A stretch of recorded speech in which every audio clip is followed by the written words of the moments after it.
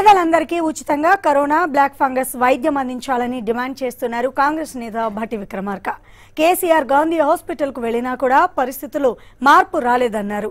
కరోనాను అరికట్టడంలో కేంద్ర రాష్ట్ర ప్రభుత్వాలకు చిత్తశుద్ధి లేదంటున్న భట్టి విక్రమార్కతో మా ప్రతినిధి కేసీఆర్ ఫేస్ టు ఫేస్. వైద్య సేవలు అందించాలనేటువంటి డిమాండ్తో కాంగ్రెస్ పార్టీ ఈరోజు సత్యాగ్రహ దీక్ష గాంధీ భవన్లో చేసింది. ప్రస్తుతం మనతో ఉన్న సిఎల్పి నేత భట్టి విక్రమ భట్టి విక్రమార్క గారు ఉచిత వైద్యం అనేటువంటి అంశాన్ని మీరు చెప్తా ఉన్నారు. ప్రభుత్వ హాస్పిటల్లో ఇప్పటికే ఉచిత వైద్యం నడుస్తూ ఉంది ప్రత్యేకించి దీని మీద డిమాండ్కు మీరు ఏం చెప్తారు?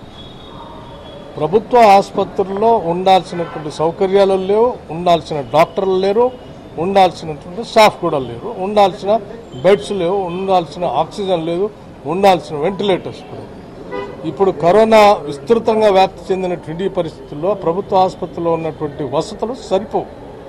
అందుకోసమే అసలు దీన్ని నేషనల్ డిజాస్టర్గా పరిగణించి మొత్తం పడ్డటువంటి వాళ్ళందరూ కూడా ఉచితంగా వైద్యం అందించాలనేది మా డిమాండ్. అది ప్రైవేట్ కావచ్చు ప్రభుత్వం కావచ్చు. ఈ కరోనా ట్రీట్మెంట్ సంబంధించి ప్రైవేట్ ఆసుపత్రుల్లో మనం చూస్తున్నాం బిల్లులు. పదిహేను లక్షలు ఇరవై లక్షలు ముప్పై లక్షలు. కనీసం లక్షన్నర అనేది మినిమం. లక్ష రూపాయలు డిపాజిట్ అయిపోతే హాస్పిటల్లో చేర్చుకోవట్లే ముందు.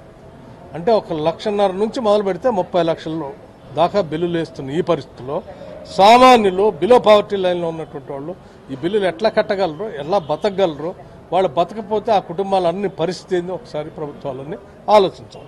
భట్టి విక్రమార్క గారు మీరు ప్రైవేట్ హాస్పిటల్స్ బిల్స్ గురించి చెప్పారు కదా కోర్టు కూడా ఈ అంశాన్ని ప్రస్తావించినటువంటి పరిస్థితి ఉంది. ఇప్పటివరకే బిల్లులు చెల్లించిన వారికి బిల్లులు మళ్ళీ తిరిగి చెల్లించాలి. ఏ మేరకు సాధ్యం ఇది సాధ్యమైనటువంటి పనేనా?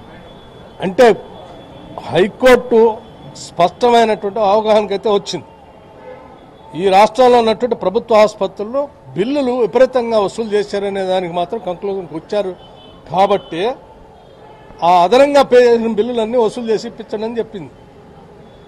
దీంట్లో ప్రభుత్వం చేయాల్సింది తప్పనిసరిగా ఆ దిశలో చర్యలు తీసుకోవాల్సింది. అలా తీసుకోకపోతే పాలనా పరంగా వీళ్ళు అర్హత కోల్పోయినట్టే నా దృష్టిలో.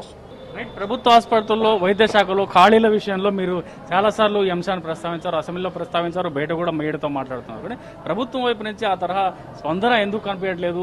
ప్రభుత్వ ప్రతిపక్షాలు డిమాండ్ చేస్తున్నప్పటికీ కూడా ఇప్పటివరకు టెంపరీ రిక్రూట్మెంట్ వారి విషయం కూడా కూడా ప్రభుత్వం అడుగులు వేయలేదు. మామూలుగా ఉండాల్సిన డాక్టర్లే డెబ్బై శాతం ఖాళీగా ఉన్నాయి. మరి ప్రభుత్వానికి నిజంగా ఏమాత్రం బాధ్యత ఉన్నా కానీ వెంటనే అది ఆ డ్రైవ్ తీసుకొని రిక్రూట్ చేసుకొని ఉండాల్సి ఉండే సంవత్సరం టైం వచ్చింది. సంవత్సరంలో కూడా పూర్తి చేయలేదుగా. ఇవాళ ముఖ్యమంత్రి గారు గాంధీకి పోయారు వరంగల్ పోయారు. పోయి దేనికి? పోయి వచ్చిన వ్యక్తి ఆడ ఉన్నటువంటి పరిస్థితులు వెంటనే మార్చేస్తున్నానని చెప్పాలి కదా. అది కూడా ఏం చెప్పట్లేదు. రైట్ ప్రతి పౌరుడికి కూడా ఉచితంగా టీకా అందించాలనేటువంటి అంశంలో రాష్ట్రపతికి మీరు లేఖలు రాశారు ఇటు గవర్నర్ కూడా కలిశారు జిల్లాల స్థాయిలో కలెక్టర్లను కూడా కలిసినటువంటి పరిస్థితి. ప్రతి వాళ్ళకి ఉచితంగా ఇవ్వడం సాధ్యమేనా? ఇగో ఇట్లా కరోనా వ్యాప్తి చెందబోతా ఉంది. దీనికి ఇంత వ్యాక్సిన్స్ కావాలి.